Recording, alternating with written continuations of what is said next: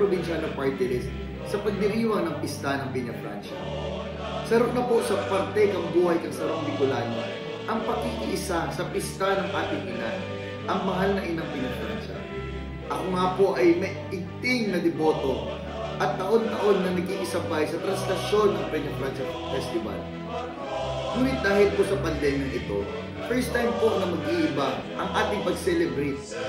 Pero kahit na wala tayo physically, isinasabuhay po natin ang mensahe ni Ina sa isip, sa salita at sa gawa.